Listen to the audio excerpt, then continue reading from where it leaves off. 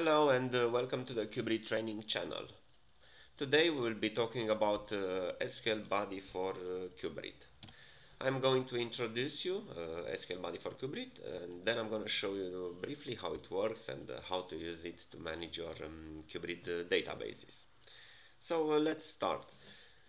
First of all, for those of you who never heard before about um, SQL Buddy, let's just take a quick look uh, and see what uh, what SQL Buddy is, is all about. I have already opened in my browser the home page for um, for SQL uh, Buddy. So SQL Buddy is a, is a web application for managing uh, MySQL. Uh, probably the most uh, well-known application, web application for managing MySQL is phpMyAdmin.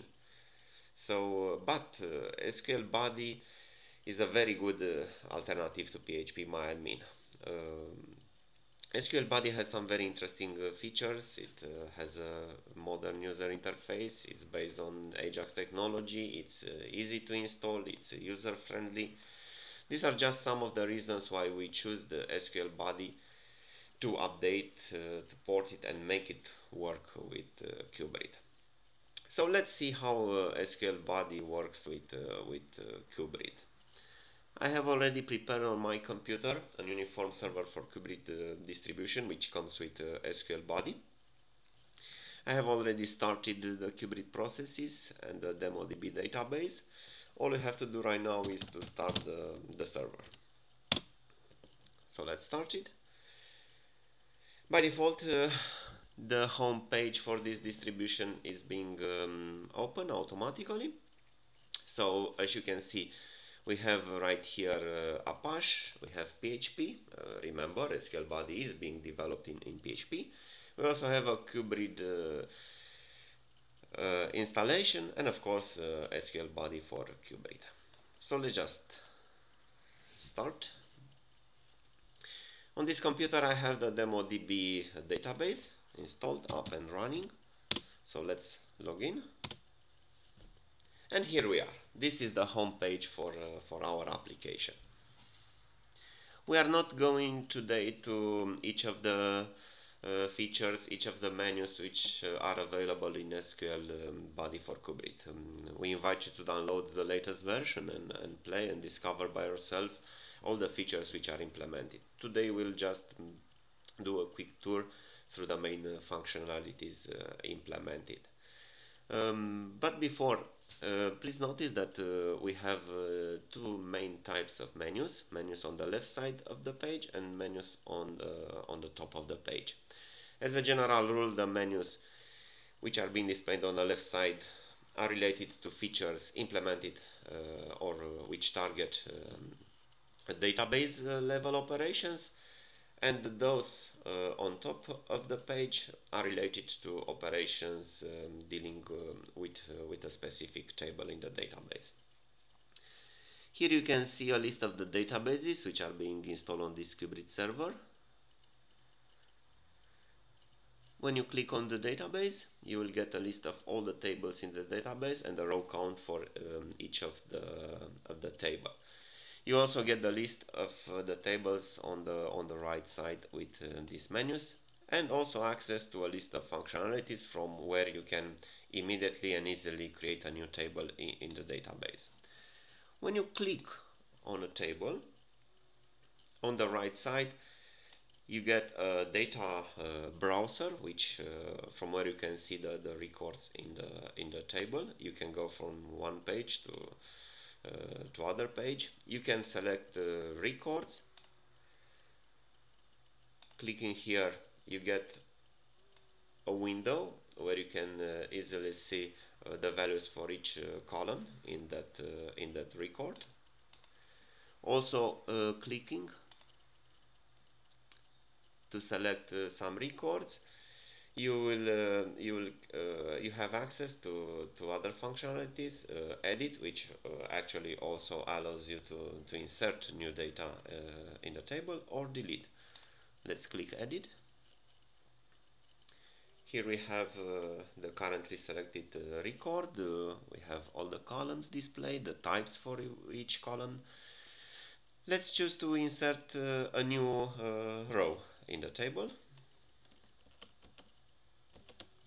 I'm gonna change uh, only the code and submit. Automatically the data is being uh, uh, reloaded. We have additional record now in the nation table. Let's just click on the code to sort. One more time.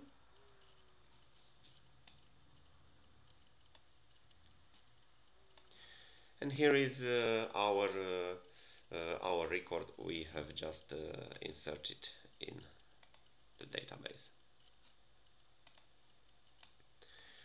What else do we have uh, from here? Let's go now to the uh, top uh, menu.